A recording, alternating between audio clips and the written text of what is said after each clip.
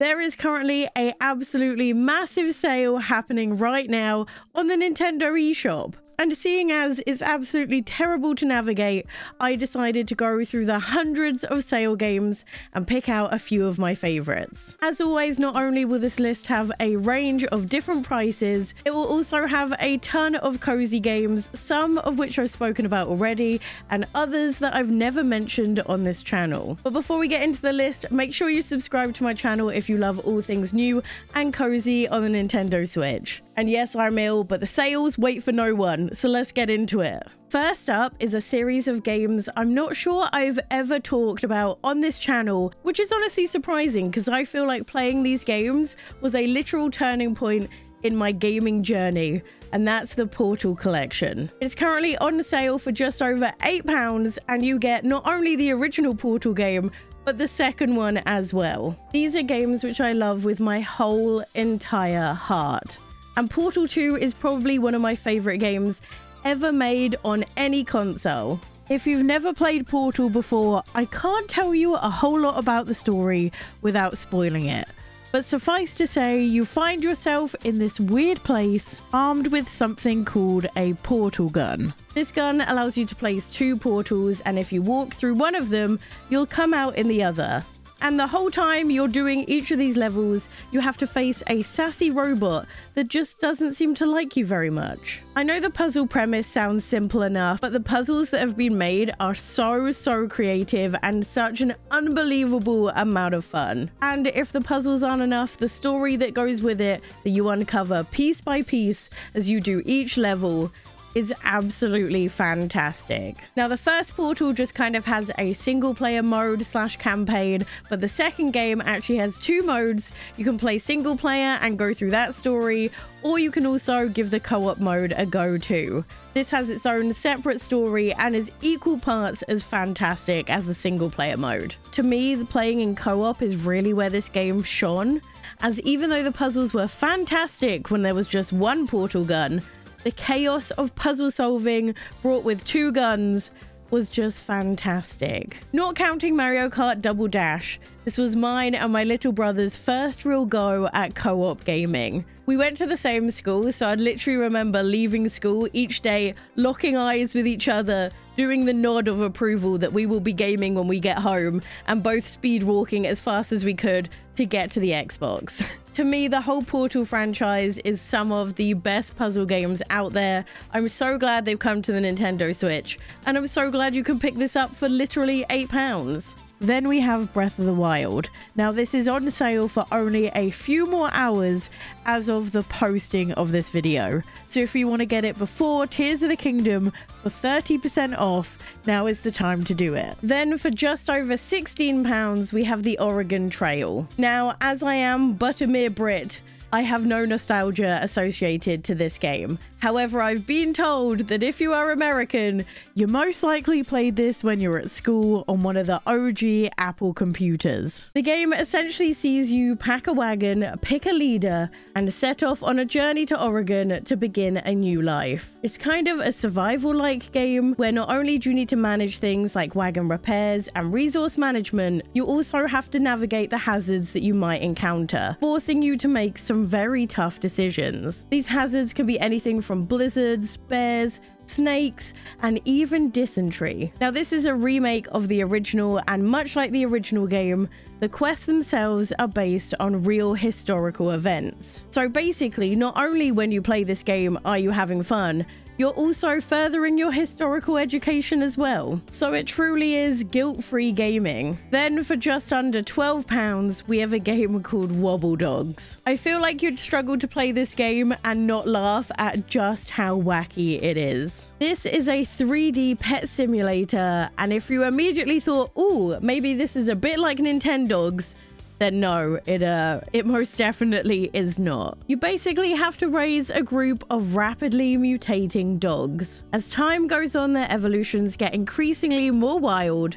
Like for example, when they age, they literally pupate, aka they form a cocoon and chill for a bit before they come back as a different version of themselves. You can kind of control which evolution form they take with what you feed them, but I honestly don't think you could predict a single thing that happens in the game. Not only are you in charge of the dogs though, it's also up to you to create the perfect habitat for them by decorating the area as well. And the way the dogs move and interact with all the objects just makes Wobbledogs all the better. Half the time you don't even have to play the game, you can just sit and watch the chaos happen in front of you. It's definitely a great game if you need a laugh, and I think this price point is a lot better than the original. Then for just over £16, we have Return to Monkey Island. This is a point and click adventure game packed with tons of character, and once again, will make you laugh a lot. Don't worry though, you don't have to have played the original Monkey Island game to enjoy this one. But if you have, you will most definitely see plenty of Easter eggs and references to the original. The puzzles are brilliantly designed, a lot of fun, challenging, and will also somehow make you laugh all at the same time. And we all know that some point and click games can have some pretty obscure solutions, but there's no need to worry as there's actually a hint book in the game, so you don't even have to go and look up a walkthrough. Return to Monkey Island is also fully voice acted, making it incredibly hard to put down, and is honestly a great game to pick up for its current price. Then for just under £25, we have the 51 Worldwide Games game. I always feel like there's a second game at the end. Now, admittedly, the name of this game is not that creative, because all it is is a game that contains 51 games from across the world. But this is actually a family game night staple of mine, as not only does it have all the board games you know and love, it also has a great few added extras. It has things like Ludo, chess, checkers, a ton of different card games, but also things like Pong and bowling as well. There is genuinely a game for everyone on this list. And one thing I really like about the game is that each individual game comes with a complete guide, voice acted, on how to play it. The guides are animated, super comprehensive, so it makes sure that even if you've never seen this game before, you can play it and have a great time. You can also either play single console multiplayer, or if you have multiple consoles, you can play multiplayer like that as well. They even have a free version of the game on the eShop, so that you only need one copy of the game to play with a friend with two separate switches. The only slight downside is if you're playing four player on a single console, you only have 10 or so games you can actually play as a group of four. But for this price, you can't go wrong. I've had many nights of playing Ludo with my whole entire family and it being an utter mess in the best possible way. It's a great game to add to your collection if you love playing with friends and family. Then we have one of my all-time favorite cozy games, unpacking. The whole premise of the game is just unpacking. It makes no sense why I love this game so much, as I genuinely hate folding clothes and putting them away in real life. I don't know about you guys, but I'm definitely the type of person who has a laundry chair, but then when I work at my desk, I just move the laundry pile from my chair to my bed. And then when I sleep, it moves back to my chair. My life is just an endless cycle of moving my laundry pile. But I know I'm not the only one, okay? There's other people who also live like this. I just wish putting things away in real life was as satisfying and as fun as they are in unpacking. But the real beauty of the game isn't seeing what random places you can put items in, but it's more how much story the game can portray just by unpacking someone else's belongings. You basically get to see an entire person's adult life where you get to learn more about them each box you unpack at a time. And I'm pretty sure, me included, everyone who has played this has cried at some point during it. It's so, so good. I recommend it so much. Then for just over £6 is Cozy Grove. I won't spend too long on this because I've mentioned this a ton, but it's definitely one to pick up if you enjoy playing games for an hour or so each and every day and making it a part of your routine. This game is based on in real life time and sees you take care of the requests of the spirit bears of the island. I feel like this game for me is something I definitely play while doing something else, like watching reruns of my favorite show or having a movie on, as the quests are more or less just fetch quests. But that's one thing I feel like reviews don't capture. Not every single game I want to pick up, I want to have my full undivided attention on all the time. So games like this definitely have a place in my life and that doesn't make them any less great. The music and the art style always makes me feel so calm when I play it. And especially when you're coming to the end of one of the bear's stories, the dialogue can be so, so moving. The one thing I truly love about this game, though, is that it doesn't punish me for not being logged into the game for a while. I truly love Animal Crossing, but one issue I had is when I've been busy and I haven't been able to log into the game for a few days or a few weeks because of real life stuff, the villagers made sure to make you feel really bad about that, and I wasn't a big fan. But in this, they don't even mention it whatsoever, you just carry on where you left off, which I think for a casual game is something I definitely needed. Then for just under £4, we have Gris, or Gree. I'm gonna say it both ways because it just makes it easier for people to look up. This is yet another cozy staple that I cannot get enough of, and it's more of an experience as a game as it has no dialogue,